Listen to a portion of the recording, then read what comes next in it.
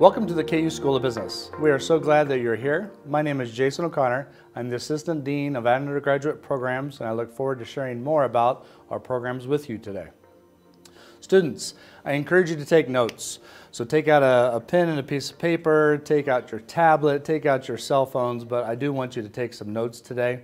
We're going to be discussing our admission requirements, our majors, the business requirements, our international experiences, and the first semester selection.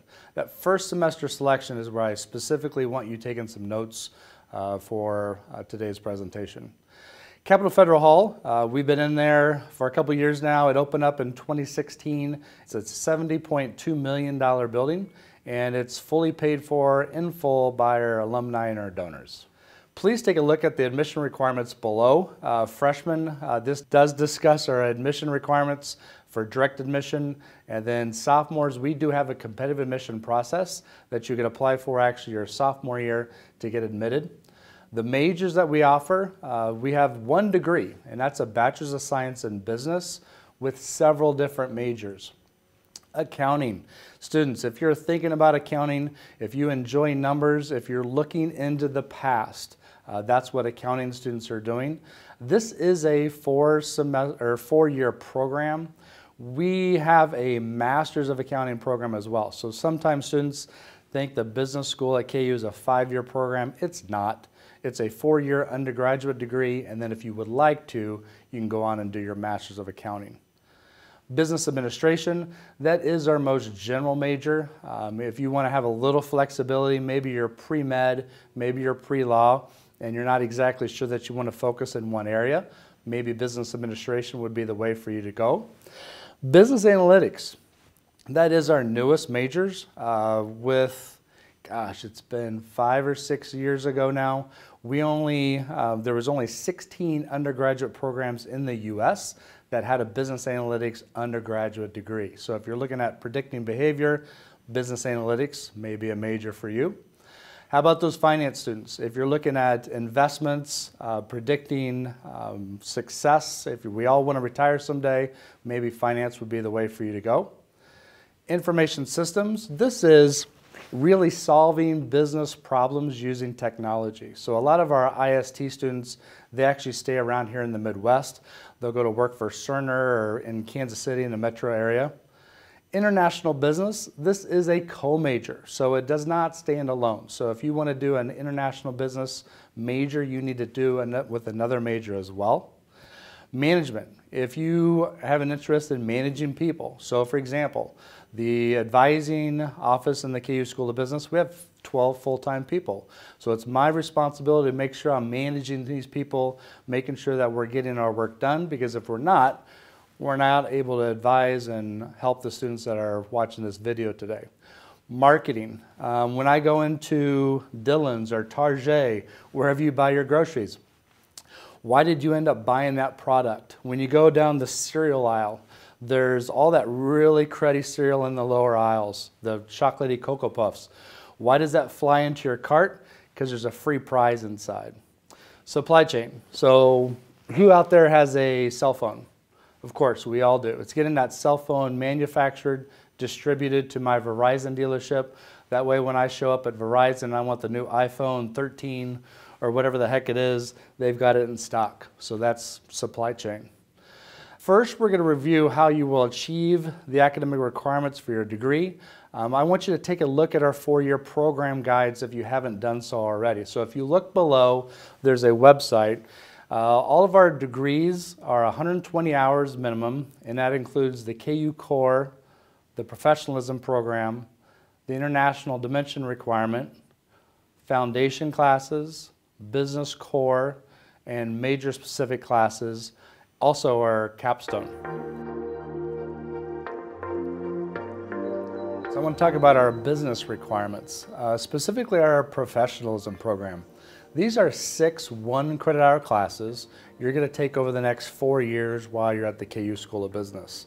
The Business 110, it's really an orientation to business. Uh, we talk about our values, Um, the Business 120 is jumping into more what's in the emerging markets, what's happening in business. For example, artificial intelligence. How is AI affecting a lot of different businesses, whether it's in accounting, finance, supply chain? How is that affecting uh, business practices? Business 210 this is going to be a dive on your resumes, your cover letters, uh, mock interviews, where we actually will do an interview with you. The Business 230, we, I have listed here Business 230, but really there's a 230 class specifically for each major. So for example, if you're thinking about majoring in accounting, there'll be an accounting 230 or a finance 230.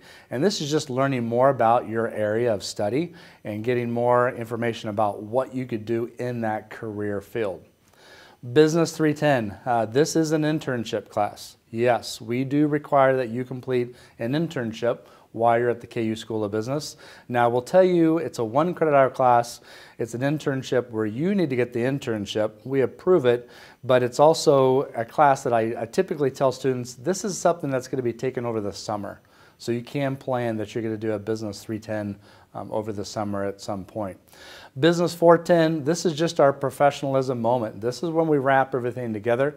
We look at any certificates that you've gotten along the way. If you've had our professional selling program, if you've got, if you're an Excel um, certified, a lot of different things. We're just kind of wrapping it up in one package, making sure you're ready to go out to graduate, get gainfully employed.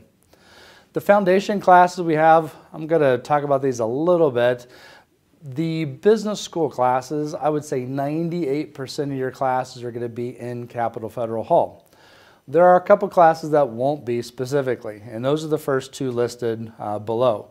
So Accounting 200 and Business Analytics, they are large classes and will typically be taught um, up in a larger lecture hall on campus. Uh, the Business 150 is a foundation course, and then both micro and macroeconomics. These foundation courses, students, you're taking your freshman and sophomore years. The business requirements, this is the business core. So these core classes you're taking your sophomore, junior year. As I said earlier, we have a Bachelor's of Science in Business, a BSB. So it's important that you take a little bit of all different aspects of business. So you'll take B Law, B SAN, uh, the business writing, Business 305, you're going to be taking all those classes your sophomore and junior year. And then you specifically have 21 hours in your major. So whichever major you choose, accounting, finance, marketing, management, doesn't matter. They're all exactly 21 hours in that specific major. Then your very last semester, we're going to have you take Management 498, and that's a capstone class. That class is going to divide you up into small groups. You're going to have a group of probably four to five students. And let's say you're the management expert. You're going to be paired with other students with other majors. So maybe an accounting, a finance, marketing, you name it. So you five students are going to be experts in the field. And we're going to give you a real life business case that has real life problems. You as a group of students have to figure it out, what's wrong with it, and you have to present it back to class. So that's that really that capstone moment that you have. Also, as a requirement for the School of Business, we want all students to have an international experience. Now, I guess my, my first question is, uh, who wants to take a foreign language? Raise your hand, everybody in the audience, please do so. KU has over 40 different languages here. Uh, we have the big three, which is Spanish, German, and French. But as you can imagine, we have a lot of business students taking Mandarin Chinese. We have students taking Arabic. We have students with the, with the global economy right now. I guarantee you we have some students that are taking Russian because what's going on um, in the world right now. If you say, Jason, nope, I don't want to take a foreign language, you don't have to. The second option is to actually study abroad. Now, who would like to study abroad? While you're abroad, uh, you can go for a fall, spring, or summer term, your choice. And if you at least take six hours while you're abroad, then you will meet this international dimension requirement. If you say, Jason, no to foreign language, no to study abroad, then your third option is to take two international courses. As you can imagine, now this is pre-COVID, but before COVID, 37% of our students actually studied abroad, and we're seeing a lot of our students are studying abroad uh, this summer. During the orientation uh, program, uh, students, when you're coming meet with your academic advisor, you're going to come over to CapFed. The academic advisor is going to be asking you, what classes do you want to take this fall semester? So please have an idea of which class you're going to want to take. We're going to talk about some options here in a second, but they're going to be talking to you specifically what you want to do in the fall semester. And we're also going to talk about a four-year program degree plan. So we're actually going to give you a program plan and we're going to give you the, the advisor's business card and they're going to kind of lay out what it would take for you to graduate in four years. Now, I realize with every student that's coming through, you're all going to be different. Some of you are going to graduate in three, maybe years, three and a half, or four. They'll work with you uh, during that advising appointment. The advising center down in the School of Business, we have assigned advisors, and it's based on your alphabet. But if for some reason, if you came to orientation and you met with Megan and she's not your assigned academic advisor, it's perfectly fine to keep meeting with her. Uh, simply uh, schedule an advising appointment, and you can do that by the link below. The jayhawkgps.ku.edu is how you schedule those appointments. We have advising appointments available 8.30 to 4.30 Monday through Friday. Now, this is the sample plan. Uh, students, if you look below, uh, if you're a direct admit, this is kind of some examples for you to think about. We want you to take a math class. So if you've taken the, the math uh, exam, if you've had an ACT score and you have your placement, we want you to take either the Math 2, Math 101, or Math 115, maybe English 101, Financial Accounting, Accounting 200, the Business 110, that's that first professionalism class. It's only one credit hour long and then Business 150. This gives you a total of 14 hours. We're perfectly fine with that. If you want to add another hour or two, you could certainly do that, but we're okay with you taking 14 hours your first semester. Now, uh, here is a pre-business plan. So maybe you're not quite sure you want to do business. Maybe when you came to orientation today, maybe you were thinking you were going to be a nursing student or maybe something in psychology, but you're thinking maybe you're going to try out business. Same kind of thing. We would recommend that you take a math class, an English class, maybe that first accounting, accounting 200, uh, the business 110 for one hour, and then maybe an arts and humanities class. Once again, we recommend 14 hours will be sufficient for enrollment for your very first semester. Now, students, this is that other things that I want you to write down. Things to think about. I really want you to push and talk with your family and friends about a foreign language. I did my undergraduate degree at KU. I did not take a foreign language, and I really wish I would have. And it's, it makes you stand out. It makes you unique uh, when you get ready to graduate in four years. So think about taking that foreign language, talk to your family, talk to your friends. We have a lot of languages at KU. Think maybe taking the arts and humanities class, maybe a science with a lab. These are the KU core that you need no matter what. Uh, take that science with a lab. Uh, social sciences, the School of Business does specifically require Psych 104. Maybe you want to take that.